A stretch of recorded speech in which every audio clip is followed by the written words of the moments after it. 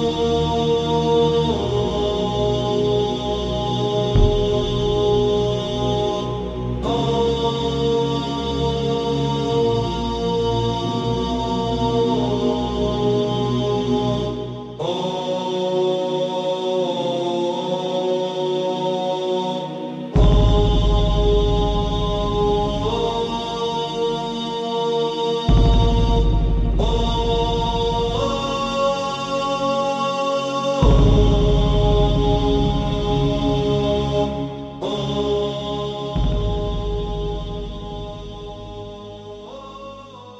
الرواية مذكورة في الكافي وهي رواية صحيحة.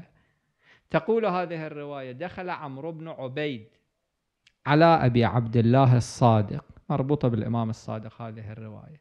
فلما سلم سلم وجلس تلا هذه الآية الذين يجتنبون كبائر الإثم. أحب أن أعرف الكبائر. ما هي الكبائر؟ الله تعالى يقول الذين يجتنبون كبائر الإثم والفواحش. ما هي هذه الكبائر؟ من أين نعرف؟ إذا لم نلجأ إلى أهل البيت من أين نعرف؟ أحب أن أعرف الكبائر من كتاب الله. طلع هذه الكبائر من الكتاب من القرآن الكريم. فقال الإمام الصادق نعم يا عمرو. ثم الإمام صلوات الله عليه يتحدث ثلاث صفحات مستشهدا في كل فقرة بآية من كتاب الله. فخرج عمرو بن عبيد وله صراخ من بكائه يبكي ويصرخ وهو يقول هلك من قال برأيه ونازعكم في الفضل والعلم. هذه الرواية في الوسائل. باب 46 من أبواب جهاد النفس الحديث الثاني.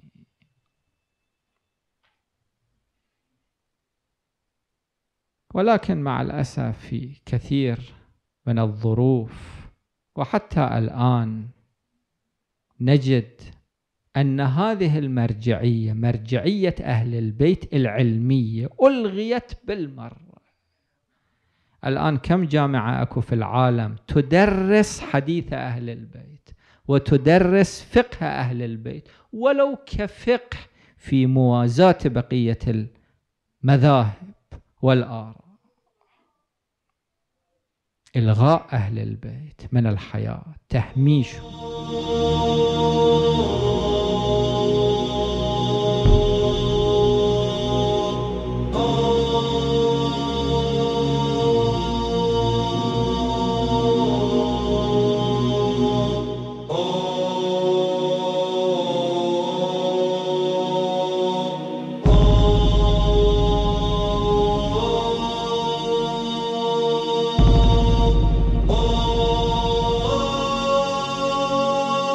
Oh.